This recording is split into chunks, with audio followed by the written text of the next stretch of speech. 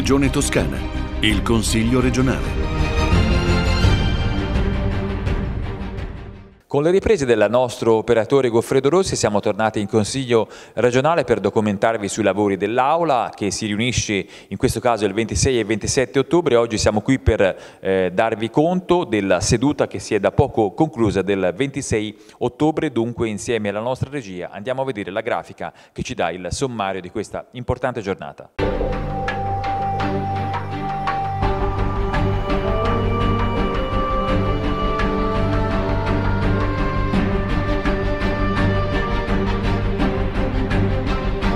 Bene, come abbiamo visto dalla grafica, andiamo a vedere quelli che sono gli argomenti selezionati per voi nel nostro consueto appuntamento con i lavori di aula. In questo caso, come sempre, sentiremo sia i pareri della maggioranza che della opposizione consigliare. Sì, finalmente dopo tre settimane siamo riusciti a ritrovare il Presidente per concludere questa importantissima discussione sui destini dei fondi strutturali europei. La buona notizia è che la Toscana avrà circa 300 milioni in più per il settennio che ci aspetta. La cattiva notizia è che si continua a fare grandi libri con dichiarazioni eh, di intenti molto generiche, ma non si finalizza eh, questo fiume di denaro. Come Fratelli d'Italia abbiamo presentato una proposta di risoluzione per chiedere che la Regione destini almeno il 70% delle risorse che arriveranno direttamente alle imprese, perché solo chi produce, solo chi investe, solo gli imprenditori possono aumentare la ricchezza del nostro Paese e della nostra Regione e redistribuirla. E non si capisce come mai eh, prima della pandemia la Toscana ha distribuito oltre il 70% delle risorse alle imprese,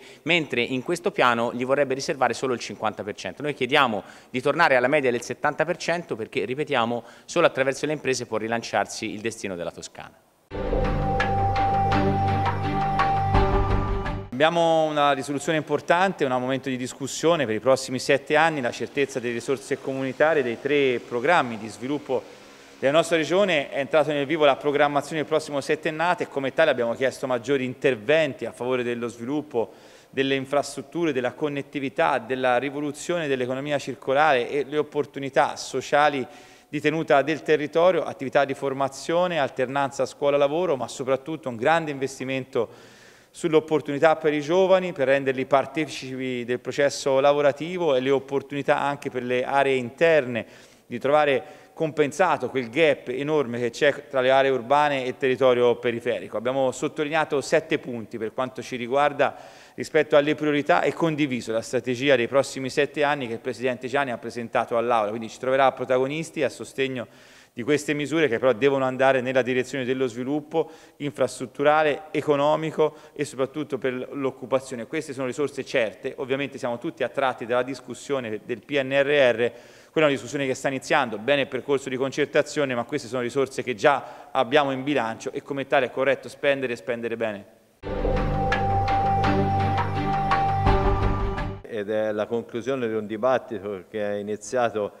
nella seduta precedente, ma nel quale si danno anche indirizzi puntuali, almeno da parte del nostro gruppo, nei confronti del Presidente e della Giunta per cercare di gestire e di spendere al meglio i fondi strutturali europei. Sono fonti che ammonteranno grosso modo a 2 miliardi e mezzo, ma soprattutto che si aggiungono a quelli del PNRR che sapremo catturare e ai fondi di sviluppo e coesione. Credo che queste tre opportunità rappresentino veramente un'occasione importantissima per la nostra Regione, per eh, migliorare il nostro sviluppo, per andare verso uno sviluppo sostenibile e soprattutto anche per cercare di riallineare quelle che sono le nostre tre toscane, quella metropolitana che è la più dinamica, quella che ha resistito meglio alla crisi, che sa ripartire per prima, con la Toscana delle aree interne e con la Toscana della costa, che sono invece territori che hanno dimostrato maggiore fragilità, eh, che hanno eh, minori opportunità di servizi, che hanno minori opportunità eh, di lavoro. Ecco, credo che spendere bene queste risorse possa invece rappresentare l'occasione per riallineare le performance di tutti i nostri territori, per andare verso una Toscana che sia eh, improntata ad uno sviluppo sostenibile, che sia improntata ad un'economia più ecologica, che sia improntata ad una maggiore digitalizzazione, quindi la presenza della banda larga in tutti i nostri territori, con quello che questo comporta per quanto riguarda eh, la possibilità di telemedicina, quindi di equità di accesso alle cure, per quanto riguarda eh, le esigenze delle imprese, dei singoli cittadini, per quanto riguarda la possibilità di studiare a distanza e quindi di affermare le pari opportunità sia di genere fra uomo e donna sia fra territori. Noi crediamo che per far questo occorra coordinare molto bene gli interventi che eh, tra gli obiettivi delle sei missioni del PNRR e eh, gli obiettivi dei fondi strutturali spesso si sovrappongono, quindi eh, mettere le risorse nei punti giusti, facendo progetti giusti, eh, cercando come dire, di coprire tutte le esigenze che i nostri territori e le nostre comunità eh, hanno.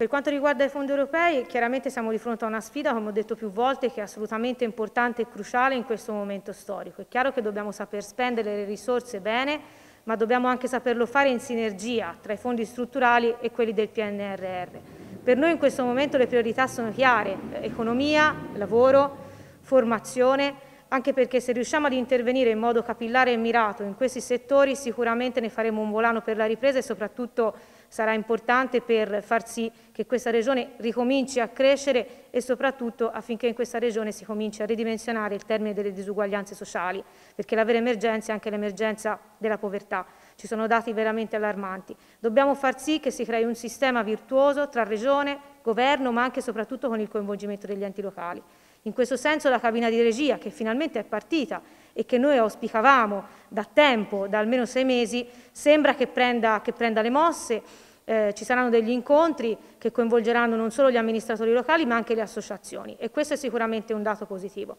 Ci spiace che su alcuni temi che a noi stavano a cuore e che hanno avuto ad oggetto delle, delle risoluzioni eh, che abbiamo portato in Consiglio regionale che riguardavano eh, diciamo, incentivi alle aziende che mirassero a eh, effettuare una formazione qualificata, così come incentivi per quelle aziende che eh, erano, eh, presentavano progetti in materia di sicurezza sul lavoro, così come anche un tema importante che poteva essere il legare nuovi investimenti e quindi il creare una sinergia eh, tra, eh, nuove, eh, tra nuove industrie che magari avessero intenzione di investire in territori caratterizzati da forti presenza di aree industriali dismesse, ecco, su queste proposte ci sia stata una sostanziale bocciatura. Eh, io credo che invece siano temi importanti eh, sui quali eh, auspico che il Consiglio regionale potrà, potrà ritornare. Noi dobbiamo mettere in condizioni Sicuramente eh, il PNRR costituisce una eh, grande risorsa anche per la Regione Toscana e sarà importante, come è stato detto più volte, spenderla in tempi veloci, spenderla bene, ma soprattutto nello spenderla bene bisogna tenere ben presente quali sono gli obiettivi che vogliamo raggiungere, che in questo documento secondo noi non sono sufficientemente precisati, così come non sono anche abbastanza precisi il cronoprogramma con cui si intende raggiungere quegli obiettivi. Quindi al netto di questo aspetto metodologico che secondo noi deve essere introdotto all'interno di tutto il lavoro che deve essere fatto, un'attenzione particolare a quella che viene stata ribattezzata il BES, il, eh, la cabina di regia Benessere Italia che è stata varata dal governo Conte e che prevede che non ci si basi soltanto sul PIL, per valutare quanto siano efficaci delle misure che prendiamo, ma che sia valutato il benessere della popolazione che, ritiene, che richiede l'analisi di molti altri parametri, quali per esempio quelli relativi allo stile di vita e di salute, alle condizioni ambientali, perché se vogliamo davvero che questi investimenti vadano per le prossime generazioni, oltre che per quelle attuali, e siano davvero un salto di qualità dal punto di vista esistenziale, dobbiamo affidarci a nuovi paradigmi e abbandonare quelli del passato. Il PIL, l'economia è importante sì, ma non è tutto. La qualità della vita delle persone e dell'ambiente è al centro di quel nuovo umanesimo che questo nuovo progetto e anche il PNRR deve promuovere.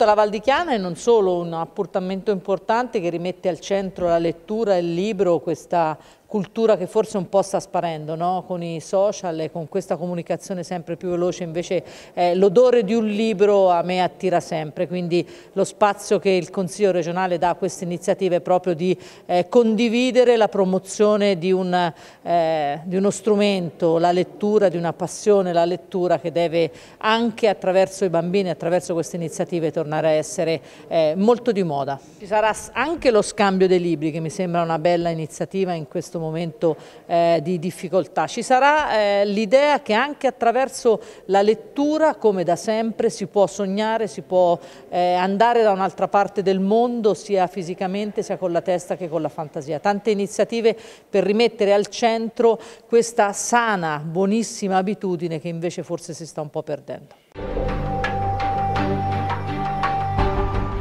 È il primo evento culturale che rifacciamo dopo questi due anni di emergenza, siamo estremamente soddisfatti anche perché quest'anno è la, secondo, eh, la seconda edizione che, che, facciamo del Book Festival versione invernale e c'è un salto di qualità importante. Abbiamo due premi strega che vengono a Fogliano per la prima volta, eh, Edoardo Albinati e Daniele Mencarelli, abbiamo il giornalista sportivo eh, Bartoletti, abbiamo Ruot Elisa Ruotolo, Chiara Moscardelli, Luca Bianchini, tanti tanti personaggi importanti, Serena Dandini, quindi una parata di, di autori importanti che a Fogliano non vedevamo da un pezzo, quindi siamo estremamente, estremamente felici. Ritengo che mm, sia molto utile, sia molto importante in questo momento in cui, come dicevamo, la comunicazione è così veloce che si sta un po' perdendo la, mm, il gusto mm, della lettura, della scrittura, anche. Tempi lenti della lettura, secondo me è importante recuperarli in questo momento perché appunto con i social, i TikTok, insomma questo tipo di comunicazione soprattutto dei ragazzi e io sono molto contenta di presentare scrittori importanti come Daniele Mencarelli, come Elisa Ruotolo, Luca Bianchini e poi altri che saranno nel, nel cartellone e che ci dividiamo insieme ad Andrea e ad, ad altre persone insomma, che dialogheranno con loro. Un momento per eh, ripartire, per tornare a guardarci negli occhi, per far eh, battere i nostri cuori, perché ci è mancata tanta la possibilità di andare a una presentazione di un libro, ad un evento in eh, teatro. Consentitemi di ringraziare la Presidente De Robertis, Andrea Vignini, Anna Cherubini, per aver voluto portare qui oggi, insieme a Jacopo Franci, la possibilità di raccontare la qualità, l'eccellenza che nasce sui nostri territori. Un programma di altissimo livello, un programma da vivere ogni giorno eh, in maniera tale da cercare di ridare ancora sui nostri territori la speranza vera che si possa ripartire ponendo i cittadini, la cultura al centro del dibattito che noi vogliamo portare avanti. Io ho sempre detto che questo luogo, il Consiglio regionale, è un luogo che deve dare voce a quei territori che hanno grande capacità di produzione culturale ma che non hanno eh, la quantità di presenze come le grandi città della, della Toscana. È stato interessante ed è stato in realtà molto facile, abbiamo preso contatti con le case editrici, molte delle quali avevamo già contatti precedentemente, quindi è stato come un ritrovarsi fra vecchi amici, soprattutto con i direttori editoriali di alcune grandi case editrici, con alcuni scrittori che anche loro finalmente tornano a confrontarsi con il pubblico dal vivo, che è una cosa che in genere agli scrittori di razza piace moltissimo. E quindi per me è stato un, percorso facile, naturalmente poi ci sono stati i soliti incidenti classici, eh, persone che danno il nulla osta e poi lo ritirano, ma insomma fa parte dell'organizzazione di qualsiasi evento. Penso che sia, anzi, delle cose che ho fatto, una delle più semplici, delle più facili e anche delle più belle.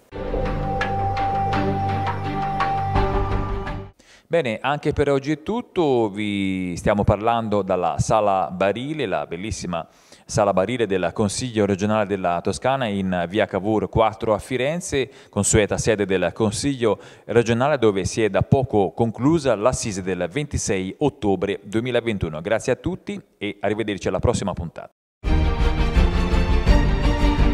Regione Toscana, il Consiglio regionale.